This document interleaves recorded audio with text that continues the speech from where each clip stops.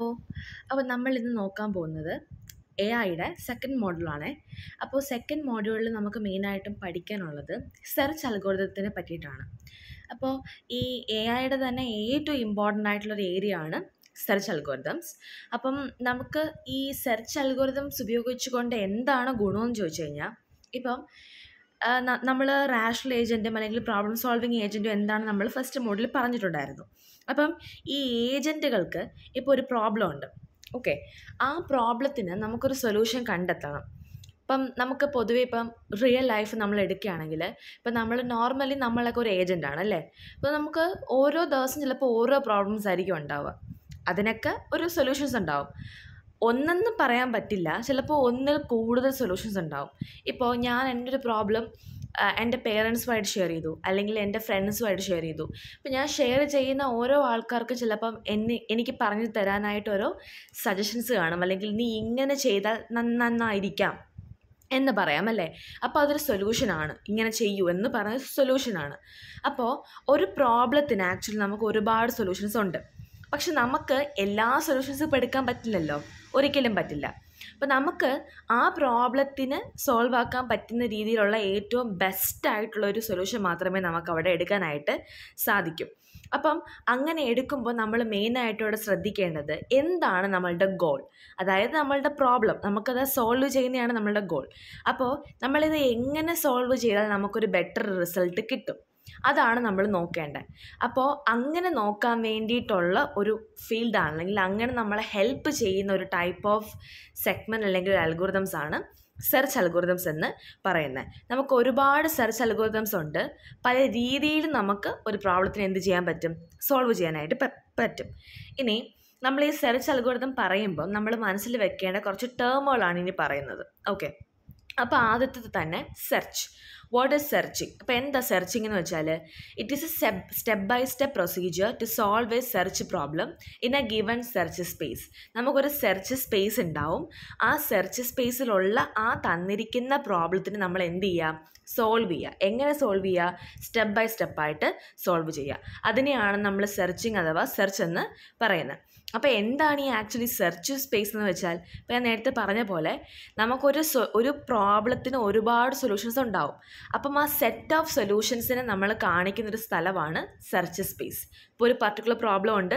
ആ പ്രോബ്ലത്തിന് എന്തുമാത്രം സൊല്യൂഷൻസ് ഉണ്ടോ ആ സൊല്യൂഷൻ ഒരു സെറ്റിൽ നമ്മൾ റെപ്രസെന്റ് ചെയ്യും. അത് അവിടെ കാണും. ആ സ്പേസിലുണ്ടാവും അപ്പോൾ ആ സ്പേസിൽ പോയിട്ട് വേണം നമ്മൾ എന്ത് ചെയ്യാൻ?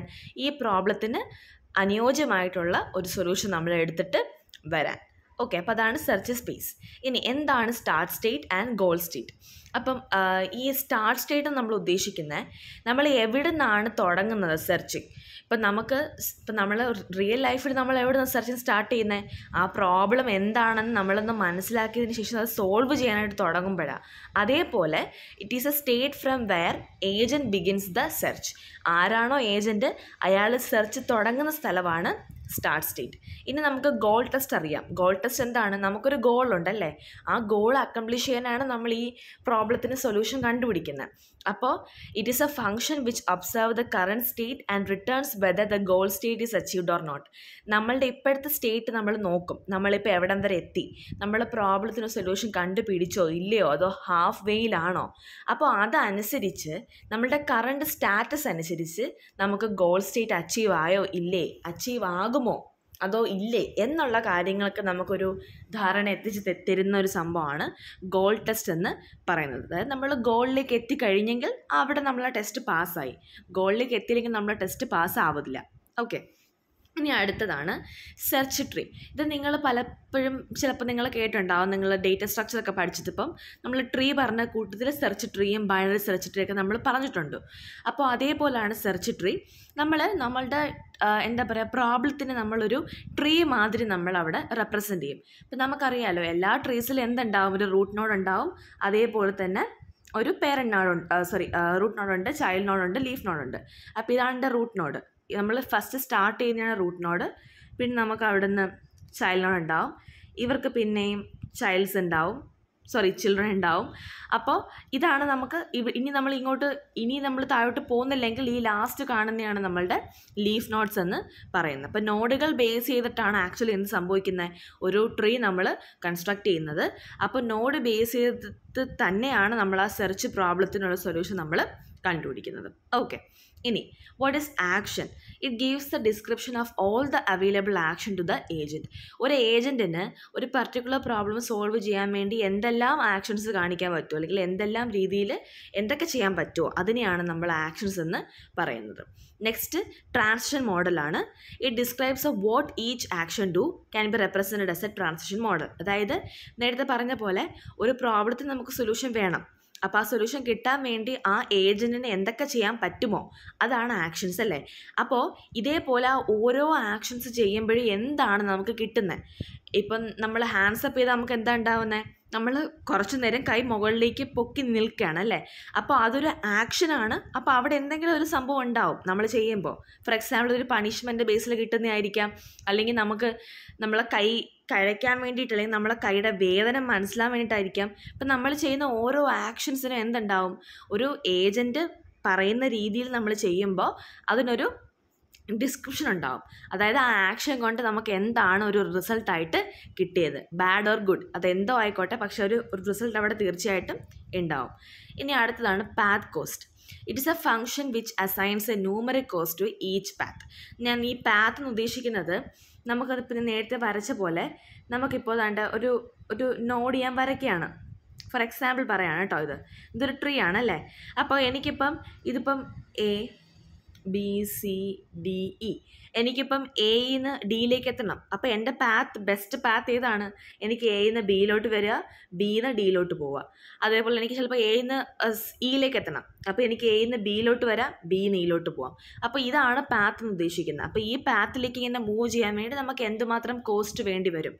എന്നുള്ളൊരു ഫംഗ്ഷനാണ് പാത്ത് കോസ്റ്റ് എന്ന് ഉദ്ദേശിക്കുന്നത്. പിന്നെ സൊല്യൂഷനും ഒപ്റ്റിമൽ സൊല്യൂഷനും നമുക്ക് എല്ലാ പ്രോബ്ലത്തിനും എന്താ ആവശ്യം ഒരു ബെറ്റർ സൊല്യൂഷനാണ് അല്ലേ? ഒരു ഒരു ഫൈനൽ ഗോൾ നമുക്ക് അറ്റൈൻ ചെയ്യാൻ പറ്റുന്ന രീതിയിലുള്ള ഒരു സൊല്യൂഷൻ നമുക്ക് ആവശ്യമായിട്ടുണ്ട്. ഇനി ഒപ്റ്റിമൽ സൊല്യൂഷൻ എന്താ? നമുക്ക് നേരത്തെ പറഞ്ഞ പോലെ ഒരു പ്രോബ്ലത്തിന് ഒരുപാട് സൊല്യൂഷൻസ് ഉണ്ടാവാം. പക്ഷേ അതിൽ ദ ബെസ്റ്റ് അതായത് ആ സൊല്യൂഷൻ കാട്ടിലും വേറൊരു സൊല്യൂഷൻ ഇനി ഇല്ല. അങ്ങനെയുള്ള ഏറ്റവും നല്ല സൊല്യൂഷനെയാണ് നമ്മൾ ഒപ്റ്റിമൽ സൊല്യൂഷൻ എന്ന് പറയുന്നത്. അപ്പോൾ ഒപ്റ്റിമൽ സൊല്യൂഷന്റെ വേറൊരു പ്രത്യേകത അതിന് മിനിമം കോസ്റ്റ് ആണ്. അതായത് നമ്മളിപ്പോൾ കണ്ട പോലെ പാറ്റ് കോസ്റ്റ് എന്ന് പറയുന്നത് എപ്പോഴും എന്തായിരിക്കും? മിനിമം ആയിരിക്കും. അപ്പോൾ ഇത് ഇത്രയും നമ്മളുടെ സെർച്ച് അൽഗോരിതം ടെർമിനോളജീസ് ആണ്. അതായത് നമ്മൾ സെർച്ച് അൽഗോരിതം നമ്മൾ യൂസ് ചെയ്യുമ്പം നമ്മൾ യൂസ് ചെയ്യുന്ന കുറച്ച് വാക്കുകളാണ് അതിന്റെ അർത്ഥങ്ങളാണ് ഈ പറഞ്ഞത്. ഓക്കെ ഇനി നമ്മൾ നോക്കുന്നത് നമ്മളെ സെർച്ച് അൽഗോരിതത്തിന്റെ കുറച്ച് പ്രോപ്പർട്ടീസ് ആണ്. അപ്പോൾ ഒന്നാമത്തെ പ്രോപ്പർട്ടി എന്താ? കംപ്ലീറ്റ്നെസ് ആണ്. A search algorithm is set to be complete if it guarantees to return a solution if at least any solution exit for any random input ഞാൻ വെറുതെ ഒരു ഇൻപുട്ട് കൊടുത്താൽ പോലും ആ ഇൻപുട്ട് മനസ്സിലാക്കി എനിക്കൊരു ബെസ്റ്റ് ഔട്ട്പുട്ട് കിട്ടുന്നുണ്ടെങ്കിൽ അത് സെർച്ച് അൽഗോരിതത്തിന്റെ ഏറ്റവും വലിയൊരു പ്രോപ്പർട്ടിയിൽ ഒന്നാണ്. അതായത് നമുക്ക് എന്തായാലും ഒരു ഗ്യാരണ്ടി ഉണ്ട് അവിടെ. അതായത് ഒരു ഇൻപുട്ട് കൊടുത്താൽ നമുക്കൊരു ബെറ്റർ അല്ലെങ്കിൽ ഒരു ഒപ്റ്റിമൽ സൊല്യൂഷൻ അവിടെ ഉണ്ടാകും. അതിനെയാണ് നമ്മൾ കംപ്ലീറ്റ്നെസ് എന്ന് പറയുന്നത്. അടുത്തത് ഒപ്റ്റിമാലിറ്റി ഒരുപാട് സൊല്യൂഷൻസ് ഉണ്ട് ഒരു പ്രോബ്ലത്തിന് പക്ഷേ അതിൽ ദ ബെസ്റ്റാണ് നമ്മൾ കണ്ടുപിടിക്കുന്നത്. അപ്പോൾ ആ ബെസ്റ്റ് സൊല്യൂഷൻ കിട്ടാൻ വേണ്ടിയിട്ട് നമ്മൾ എന്ത് യൂസ് ചെയ്യാറുണ്ട്? സെർച്ച് അൽഗുരിതം യൂസ് ചെയ്യാറുണ്ട്. ഇനി ടൈം കോംപ്ലക്സിറ്റിയും സ്പേസ് കോംപ്ലക്സിറ്റിയും നമുക്കറിയാം. ഒരു പ്രോബ്ലം റൺ ചെയ്യാൻ വേണ്ടി എടുക്കുന്ന ടൈമിനെയാണ് നമ്മൾ ടൈം കോംപ്ലക്സിറ്റി എന്ന് പറയുന്നത്. അതായത് അതായത് ഒരു അൽഗോരിതം ഇനി ആ അൽഗോരിതം റൺ ചെയ്യുമ്പോൾ എടുക്കുന്ന മാക്സിമം എമൗണ്ട് ഓഫ് മെമ്മറീനെയാണ് നമ്മൾ സ്പേസ് കോംപ്ലസിറ്റി എന്ന് പറയുന്നത്. അപ്പോൾ ഇത് നാലുമാണ് നമ്മളുടെ ഒരു സെർച്ച് അൽഗോരിതത്തിന്റെ പ്രോപ്പർട്ടീസ് ആയിട്ട് നമ്മൾ കണക്കാക്കുന്നത്. ഓക്കെ ഇനി നമ്മൾ ഡീറ്റെയിൽ ആയിട്ട് നോക്കാൻ പോകുന്നത് സെർച്ച് അൽഗോരിതത്തിനെ പറ്റിയിട്ടാണ്. നമുക്ക് എത്ര ടൈപ്സ് സെർച്ച് അൽഗോരിതംസ് ഉണ്ട് അവ എന്തൊക്കെയാണ്? അതിനെപ്പറ്റിയാണ് നമുക്ക് ഡീറ്റെയിൽ ആയിട്ട് ഈ മോഡ്യൂളിൽ ഇനി പഠിക്കാനായിട്ട് ഉള്ളത്. അപ്പോൾ ബേസിക്കലി നമുക്ക് സെർച്ച് അൽഗോരിതത്തിനെ നമുക്ക് ക്ലാസിഫൈ ചെയ്യുന്ന രണ്ട് രീതിയിലാണ്.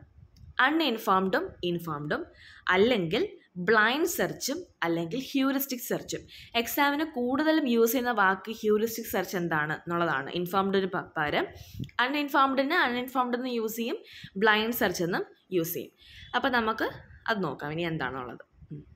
അപ്പോൾ ഇതാണ് നമ്മളുടെ സെർച്ച് അൽഗോരിതം നമുക്ക് പഠിക്കാനുള്ളതിന്റെ ഒരു ബ്രീഫ് ഒരു ഫിഗറാണിത് ഇപ്പം നമുക്ക് സെർച്ച് അൽഗോഡത്തിന് രണ്ടായിട്ട് ക്ലാസിഫൈ ചെയ്യാം. അൺഇൻഫോംഡ് അല്ലെങ്കിൽ ബ്ലൈൻഡ് ഇൻഫോംഡ് സെർച്ച് അല്ലെങ്കിൽ ഹ്യൂറിസ്റ്റിക് സെർച്ച് ഇതിൽ അൺഇൻഫോംഡ് ആറെണ്ണം ഇവിടെ കൊടുത്തിട്ടുണ്ട്. പക്ഷെ നിങ്ങൾക്ക് ആദ്യത്തെ അഞ്ചെണ്ണം മാത്രമേ പഠിക്കാനുള്ളൂ. അതായത് ബൈ ഡയറക്ഷണൽ സെർച്ച് നമുക്ക് സിലബസിൽ പഠിക്കാനായിട്ടില്ല. അപ്പോൾ അത് നമ്മൾ ഇതിനകത്ത് ഉൾപ്പെടുത്തിയിട്ടില്ല. ബാക്കി അഞ്ചെണ്ണം നമ്മൾ പറയും. അതേപോലെ ഇൻഫാംഡ് സെർച്ചിനകത്ത് ബെസ്റ്റ് ഫസ്റ്റ് സെർച്ചും ഉണ്ട് എ സ്റ്റാർ സെർച്ചും ഉണ്ട്. അതിൽ എ സ്റ്റാർ സെർച്ച് കുറച്ചധികം ഇമ്പോർട്ടൻസ് കൂടുതലുള്ളതാണ്. ഓക്കെ അപ്പോൾ നമുക്ക് അതിന് മുന്നേ എന്താണ് അൺഇൻഫോംഡ് അല്ലെങ്കിൽ ബ്ലൈൻഡ് സെർച്ച് എന്നൊന്ന് അറിയാം. അപ്പം ഇവിടുത്തെ പ്രത്യേകത എന്ന് വെച്ചാൽ ആ ബാക്കി തന്നെ ഒരു അർത്ഥമുണ്ട് അൺഇൻഫോംഡ് നമ്മൾ പ്രത്യേകിച്ച് ഒന്നും തന്നെ ഇവിടെ ഇൻഫോം ചെയ്യുന്നില്ല. അതായത് നമ്മൾ കുറച്ചും കൂടി ഡെപ്തിൽ പറയുകയാണെങ്കിൽ ഇവിടെ ഒരു ഡൊമൈൻ നോളജ് ഇല്ല. അതായത് ക്ലോസ്നെസ്സോ ലൊക്കേഷൻ ഓഫ് ഗോളോ അതായത് നമുക്ക് എന്താണ് കണ്ടുപിടിക്കേണ്ടത്? അല്ലെങ്കിൽ നമ്മൾ എന്തിലോട്ടാണ് പോകുന്നത് എന്നുള്ള ഒരു ഇൻഫർമേഷൻ നമുക്കിവിടെ ഇല്ല. അതായത് ഡൊമൈൻ നോളജ് നമുക്കിവിടെ ഇല്ല. ഇത് വർക്ക് ചെയ്യുന്നത് മെയിനായിട്ടും ഒരു ബ്രൂട്ട് ഫോഴ്സ് അറ്റാക്കിലാണ് ഒരു ഒരു ബ്രൂട്ട് ഫോഴ്സ് വേയിലാണ് ഇതിവിടെ വർക്ക് ചെയ്യുന്നത്. ഓക്കെ അപ്പം മെയിനായിട്ട് ഇവിടെ എന്താണ് ഉദ്ദേശിക്കുന്നത് it applies a way in which search tree is searched without any information about the search space like initial state operator and test for the goal goal എന്താണെന്നോ അല്ലെങ്കിൽ initial state എന്താണെന്നോ ഒന്നും നമുക്കറിയില്ല. നമ്മൾ എന്താ സെർച്ച് ചെയ്യുന്നതെന്ന് പോലും നമുക്കറിയില്ല. നമ്മൾ റാൻഡമായിട്ട് നമ്മൾ ഈ ട്രീയിലൂടെ നമ്മൾ എന്ത് ചെയ്യാണ്? ഒരു സെർച്ചിങ് നമ്മൾ നടത്തുകയാണ്. അതുകൊണ്ടാണ് നമ്മൾ ഇതിനെ ബ്ലൈൻഡ് സെർച്ച് എന്ന് വിളിക്കുന്നത്. ഇപ്പം കണ്ണ് കാണാത്ത ഒരാൾ എന്തെങ്കിലും എടുക്കാൻ പോകുമ്പോൾ എങ്ങനെ ആയിരിക്കും? ഇപ്പം ഡെയിലി ഒരു സാധനം അയാൾ വെക്കുന്ന സ്ഥലത്ത് തന്നെ എടുക്കുകയാണെങ്കിൽ അയാൾക്ക് ഓക്കെ പക്ഷേ അല്ലാതെ നമ്മൾ പെട്ടെന്ന് വന്നിട്ട് നമ്മളൊരു സാധനം എടുക്കുകയാണ്. പറ്റുമോ ഇല്ല അയാൾക്ക് പെട്ടെന്ന് ആ സാധനം കിട്ടില്ല.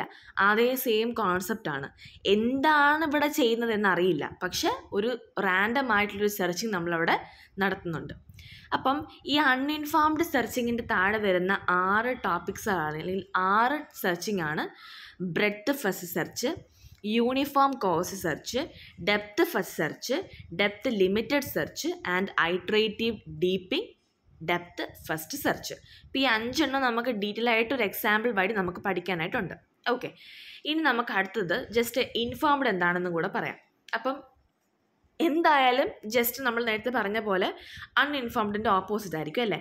ഇവിടെ നമുക്ക് മെയിൻ ഒരു ഡൊമൈൻ നോളജ് ഉണ്ട്. അതായത് ഇവിടെ ഇൻഫോംഡ് ആണ്.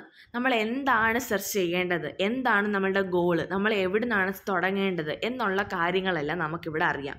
അതുകൊണ്ട് തന്നെയാണ് നമ്മളിതിനെ ഹ്യൂറിസ്റ്റിക് സെർച്ച് എന്ന് വിളിക്കുന്നത്. അപ്പോൾ നമുക്ക് കുറച്ചും കൂടെ എഫക്റ്റീവായിട്ട് ഉള്ളൊരു ടൈപ്പ് ഓഫ് അൽഗോറിതംസ് ആണ് എന്ത്? ഇൻഫോംഡ് സെർച്ചിൽ വരുന്നത്. അതായത് നമുക്കൊരു പക്ക ഒരു ഉത്തരം അല്ലെങ്കിൽ ഒരു ഒപ്റ്റിമൽ സൊല്യൂഷൻ നമുക്കിവിടെ ഉണ്ടാവും.